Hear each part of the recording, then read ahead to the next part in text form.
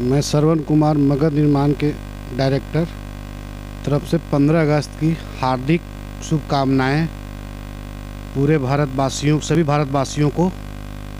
एवं सभी भारतवासियों से हम कामना करेंगे कि कोरोना